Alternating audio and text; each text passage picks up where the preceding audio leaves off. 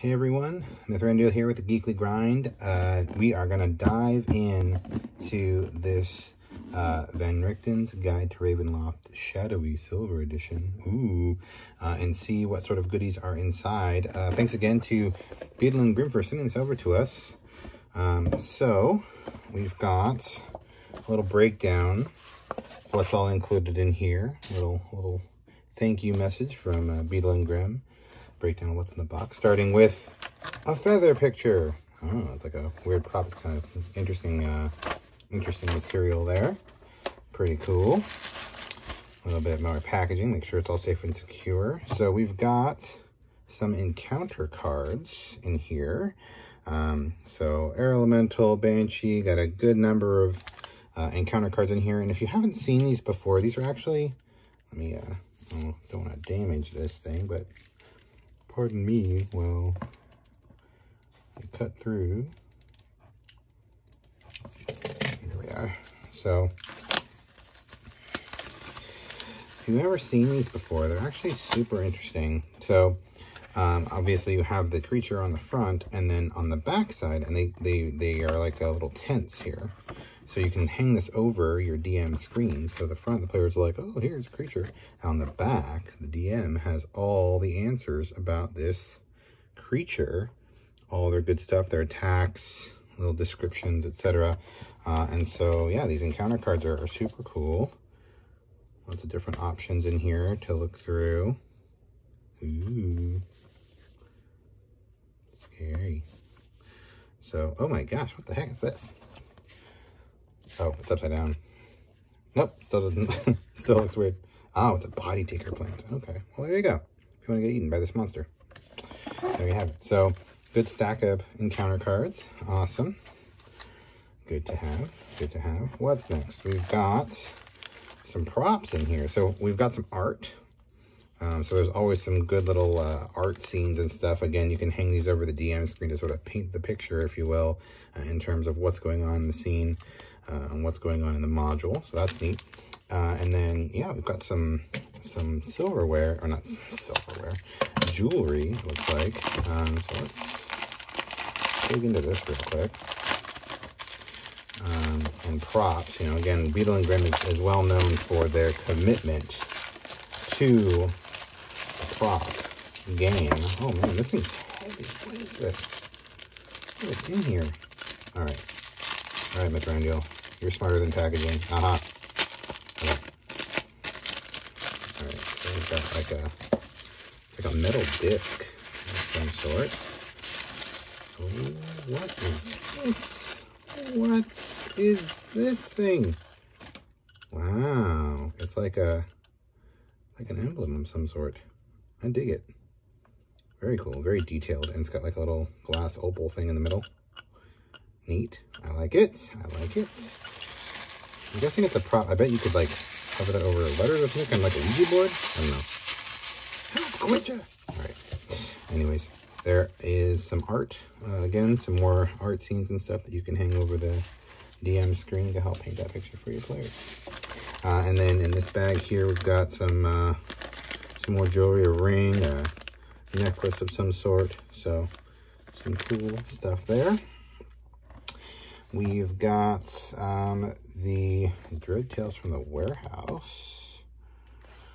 These like, I'm guessing this is uh, some, oh, some various encounters that you can run. So that's cool, little extras there.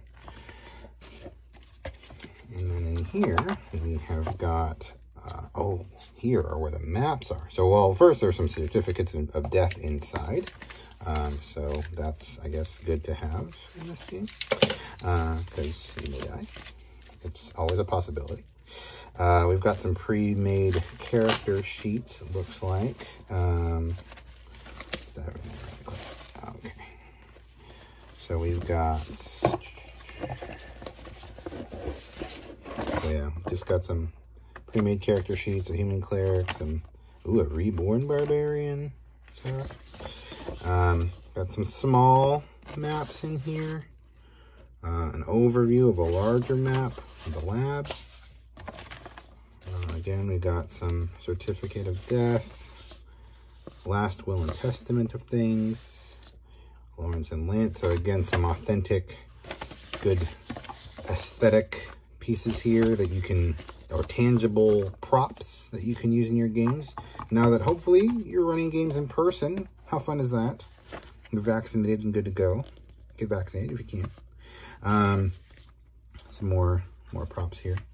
Uh, but I'm always a big fan of the maps, and it looks like we've got quite a few options here. So um, these guys look like they fold out, and I apologize, we're not going to get the full full picture necessarily. Let me try.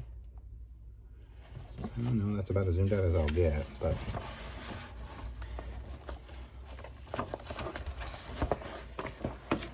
here's the first floor layout. So you can kind of see different areas of the first floor. On the back there's more. So we, both sides has um, have some options here I can get to I've always really enjoyed Beadle and Grimm's map offerings in here they're super cool so again another floor that you can adventure on lay out for your players to explore with their with their minis in person very ornate very nice uh Nice carpets, nice rugs in here. Well, you know, it's Van Richten's place, so. It's Ravenloft. It's supposed to be fancy. Uh, here's the tower chamber. Ooh, there's like a body in here. Ew. Doesn't look promising, guys. Nope. Got nope right out of there. What else is in here? Yep, just more of the manor and then more of these cool scenes that you can uh, show to people in your game as you're working through. Very cool. Uh, little baby tavern, little baby tavern map. And then uh, we got a little, little message, uh, again, little prop here. And then the uh, Coupe de Gracie, um, which is, well, oh, there's two things. First, it's the Ravenloft module. Um, so this kind of has the the book that recently came out, which uh, Wizards was so kind to send over to us. We just recently did a giveaway for Father's Day, so congrats to our winner there.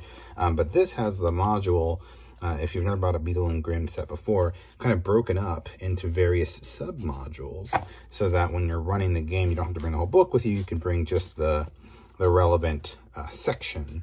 Um, so this one has, you know, chapter one for character creation and creating the domains of dread. And then uh, as you work through the module, you can pick out the, the later later modules here, the sub modules to, to run the game. So you don't have to bring everything with you every time. So that's awesome. And then, oh, it's at the very bottom here.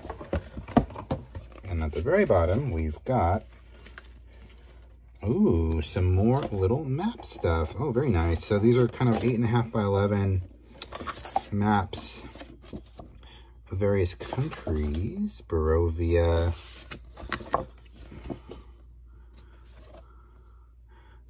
Carthagos, I guess, Carthagos.